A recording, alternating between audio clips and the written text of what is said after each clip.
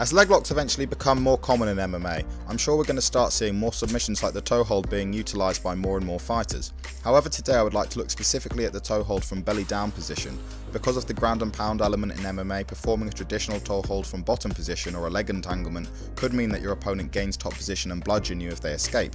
The advantage of the belly down toe hold is that should your opponent's foot escape from the grip, you're still in a strong position to scramble on top or flow to your next submission attempt. This is something we've started to see from fighters like Paul Redmond and even Dillon Danis who pulled one off in his MMA debut. For the purposes of showing the hand positioning and because it's the clearest video, let's look at the grips that Dillon used here.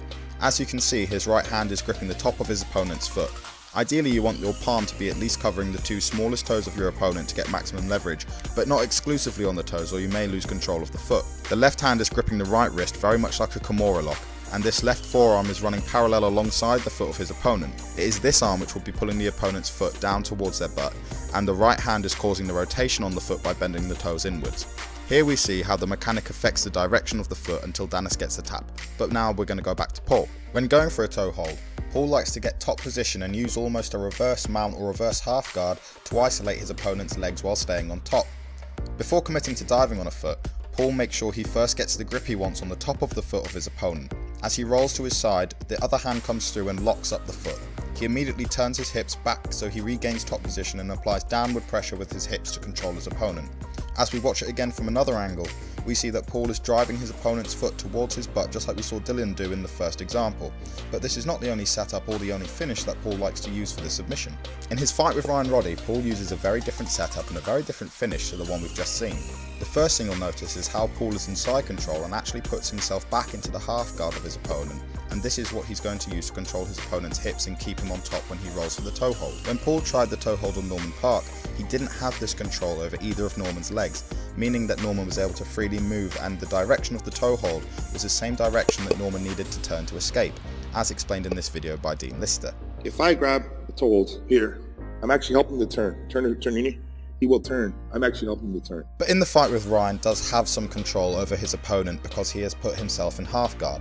Notice before Paul rolls for the toe hold, Roddy is covering up because he thinks that Paul is going to try some ground and pound, but we can see that Paul is looking back to Ryan's feet to see if he thinks a submission is on the table. He reaches for the foot with his right hand and once he is confident in the grip, he rolls and tries to lock up the figure 4 grip on the foot. Now notice that the leg that Paul put back into half guard is now going to be used like a hook to pull him back into top position.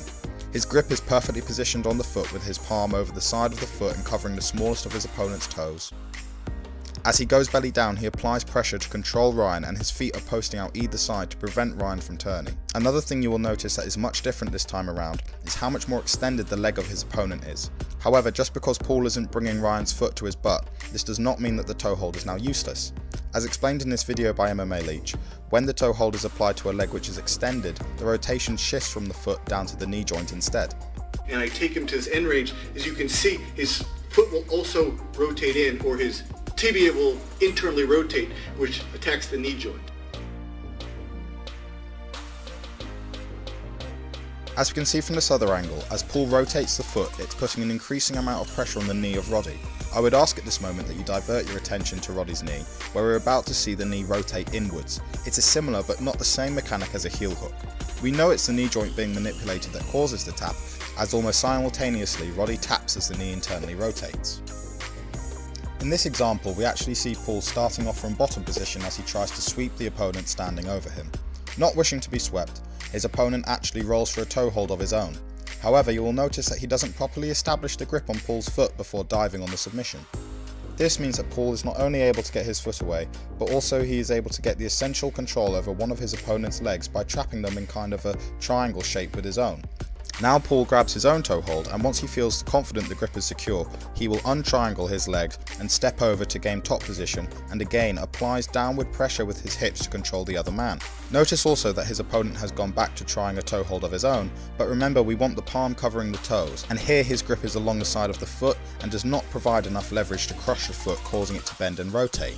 Having realised his toe hold isn't effective, the opponent tries to turn on to his side to escape, but if you remember the toe hold on Ryan Roddy, Paul uses his feet as posts so he's able to drive his opponent back to the mat using what we call active toes and at the same time hip pressure to get his opponent flat.